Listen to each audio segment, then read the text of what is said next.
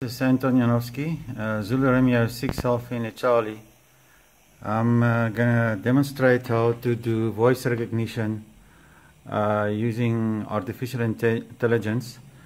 Uh, I've got a program running on my laptop here which will then take uh, this uh, SDR dongle connected to this antenna and I'm to use this uh, Baofeng and to record or transmit voice uh, which will be received by this RTL dongle and it will then recognize my voice and write the details on the screen.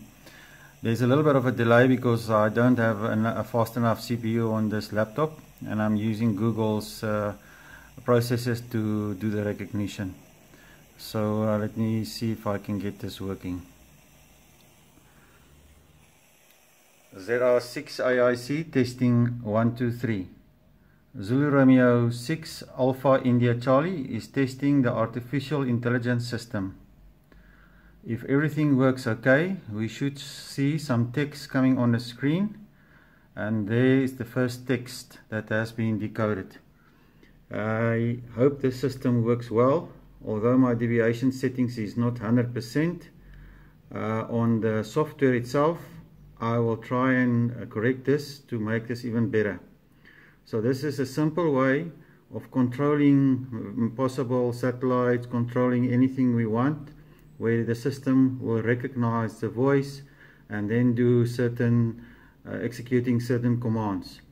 So my next step would be to create a code that will recognize certain commands and will then control certain parts of the system.